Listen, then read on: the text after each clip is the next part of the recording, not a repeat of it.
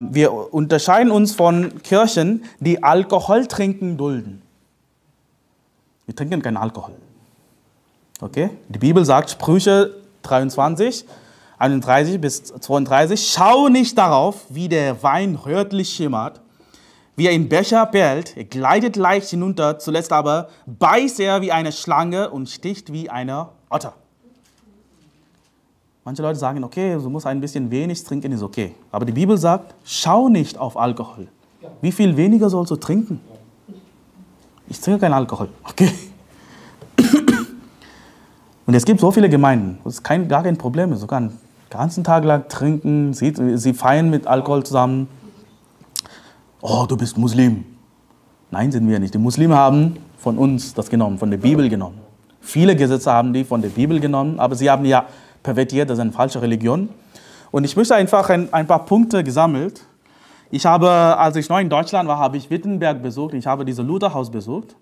Es gibt sein Wohnzimmer, seine Schalen, wo er gegessen hat, und Kirche und alles. Und er hat seine eigene, Martin Luther hatte seine eigene Brauerei in seinem Haus. Okay? Und er hat ein paar Zitate über Bier trinken geschrieben. Lass mich dir ein paar lesen, okay? Wer Bier trinkt, der schläft schnell ein. Wer lange schläft, sündigt nicht. Wer nicht sündigt, kommt in den Himmel. Lasst uns also Bier trinken. Lasst uns also Bier trinken. Starkbier ist die Milch der Alten. Martin Luther, ja, okay, okay, guck mal das mal. Wenn der Teufel dich bedrängt, dann suche die Gesellschaft und Menschen oder trinke mehr. Scherze und rede Unsinn oder tue etwas anderes Lustiges. Manchmal müssen wir mehr trinken, Sport treiben, uns erholen, sogar ein wenig sündigen, um den Teufel zu ärgern.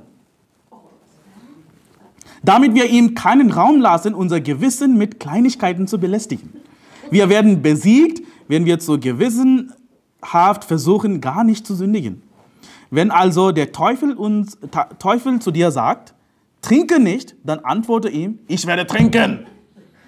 Und zwar ganz freiwillig, nur weil du es mir verbietest. Was für ein Quatsch.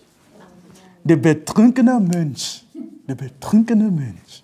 Und die Protestanten sind heute auch das Gleiche. Trinken viel. Sie kommen mit all dieser komischen Irrlehre, weil sie betrunken sind. Die Bibel sagt, sei nüchtern. Wir sollen nüchtern sein. Wenn wir trinken, sagen wir komische Dinge. Wir, wir, wir sind fähig, in Sünde zu fallen. Also vermeiden wir das. Okay.